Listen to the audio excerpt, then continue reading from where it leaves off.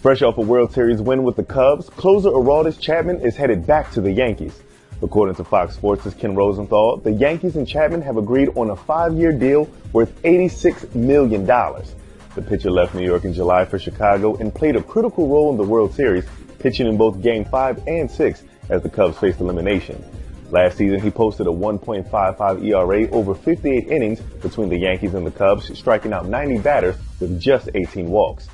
At $86 million, Chapman has set a new record for relievers, and ESPN is reporting that he has a no trade clause for the first three years.